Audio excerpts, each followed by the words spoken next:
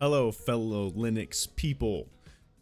Today, quick tutorial because I spent way too long doing something that should have taken 5 seconds. So, I use OBS on the Flatpak on Linux because it's the best supported. Um, most Linux distributions who have OBS in the repositories have licensing issues, so it's missing features. So the Flatpak version is the best way to use OBS on any distribution purely based on developer support. But there's a caveat to this. What's the caveat? Is that getting plugins to work on Flatpak is a pain in the ass. And it doesn't have to be. And so I wanted to download this plugin, Composite Blur, which it allows a blur filter um, for your OBS for anything. And by the way, they fixed this after I said something, which shout out to the, the fast uh, change.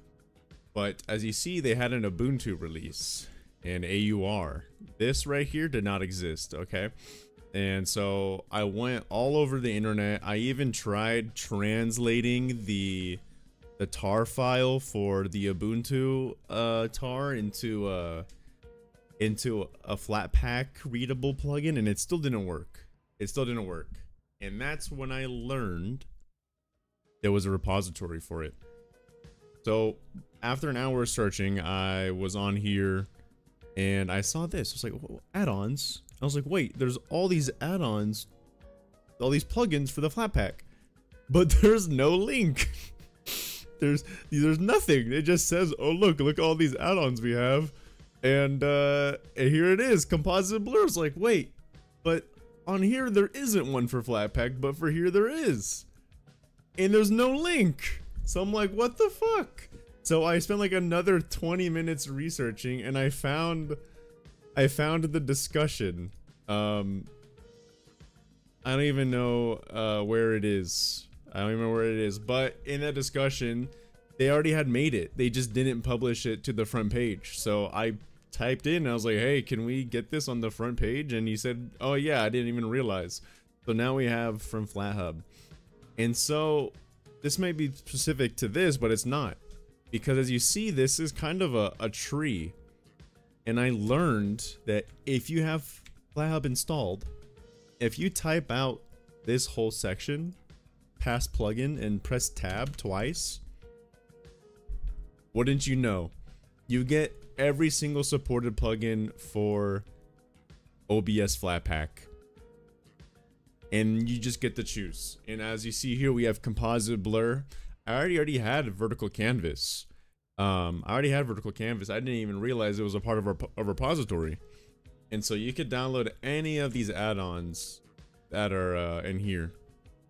I'm assuming these are all basically the same ones that are listed. If not, there may be other repositories I don't know how to find those. Hopefully you can, but here are a ton of OBS plugins that you can install via Flatpak. It's not going to cause any problems. And so you just finish, you know, if a vertical canvas, you just autocomplete with tab and you just install it. Uh, I have vertical canvas and I have composite. And if we check OBS here, I can do a blur filter Let's do it right here. Composite blur. There we go. Wow. So, anyways, that's my tutorial.